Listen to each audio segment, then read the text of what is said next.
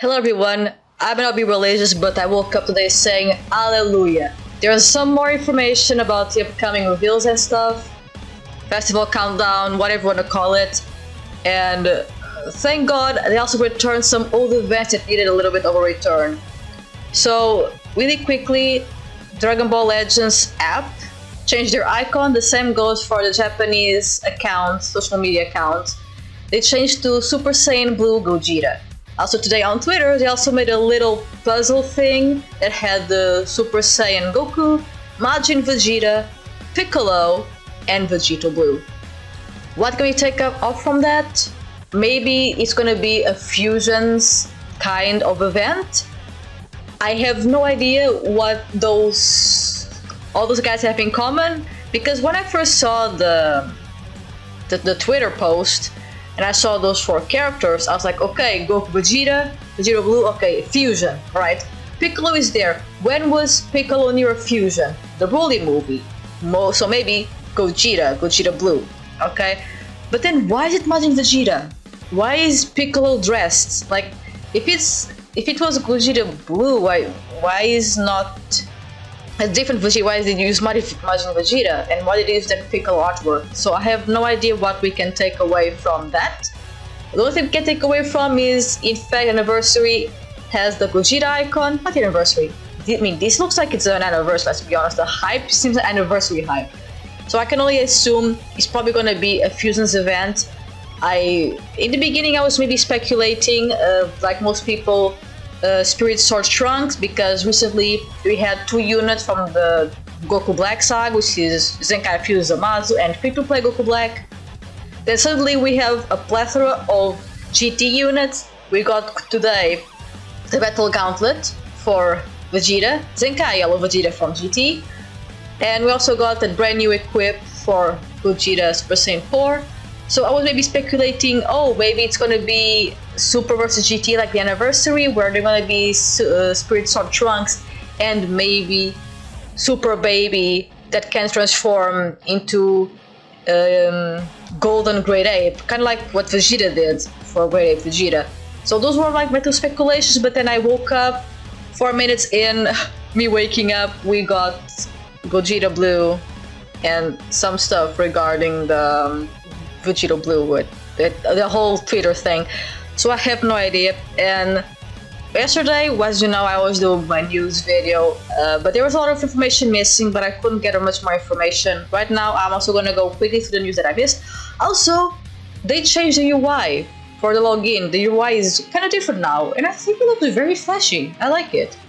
We have Freezing Awakening banners off the bat. We have Super Saiyan 3, Cooler, and uh, Purple Broly.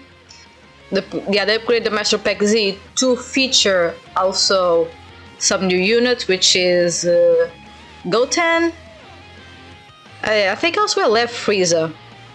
The rest I think is kept the same. So I think those two are the new units for that banner, which is Frieza and Goten, which I'm to start summoning because I want that Frieza. For a long time I wanted Frieza. And the reason why I was saying hallelujah was look at this. Fierce Battle Family Kamehameha.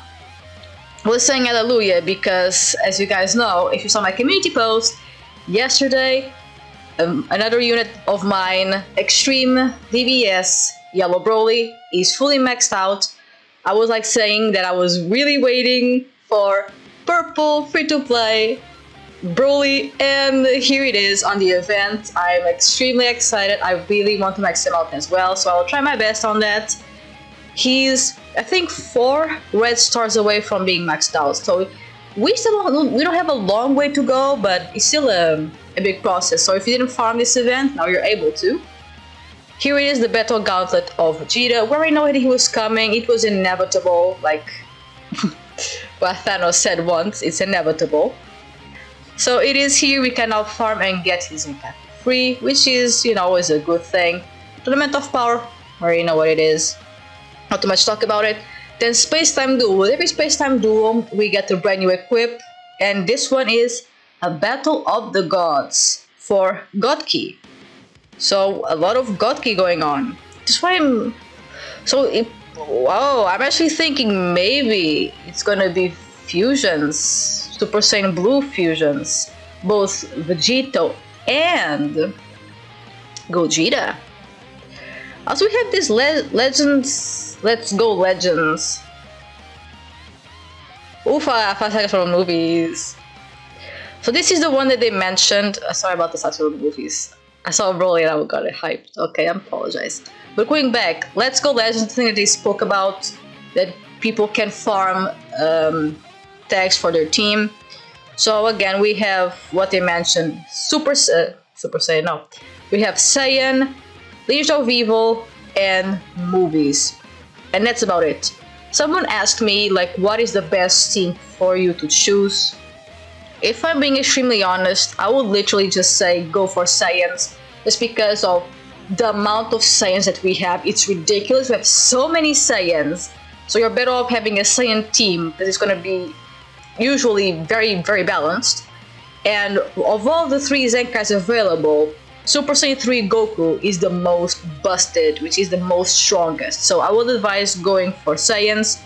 For, between Lineage of Evil and movies, I am not sure. I would say maybe movies second place, just because if you manage to get your hands on Bardock Zenkai, Broly and this Gohan can do a little bit of work, especially Broly, can do a lot of work.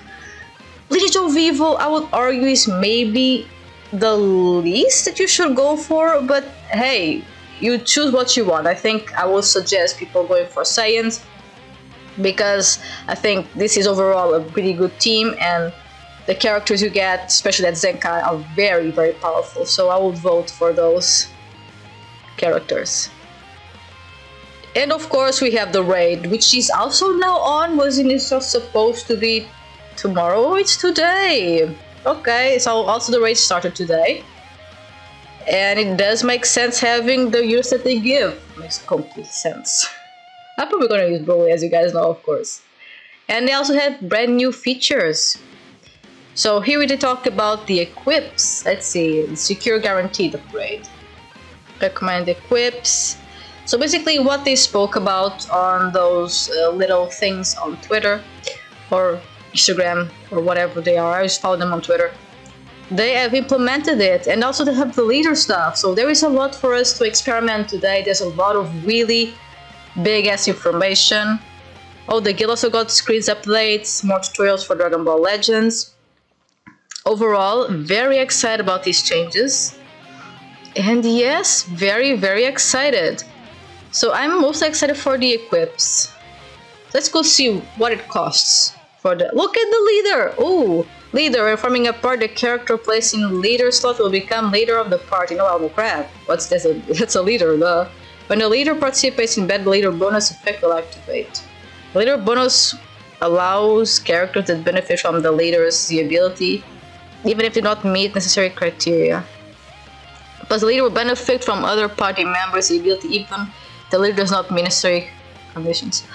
Oh, some allies make an especially good leader, so try out once. Oh, oh, this is what I want to see. Let me see the recommend they put on this Broly. Let me see what people recommend. Bahaha, what? Yeah, they this one makes. Why don't I have a left one on this one? I don't. I don't. Why don't I have the frenzied power on this Broly? Forgot. Oh no. I forgot to put this one on him. Oop. Okay, really? This one? Raw? They're really going for the criticals, I suppose. Okay, interesting. A defensive awakened equip makes sense. What is this? What what is this? I'll transform into a great ape and grind into pope. Uh, health restoration. Okay, powerful opponent saying.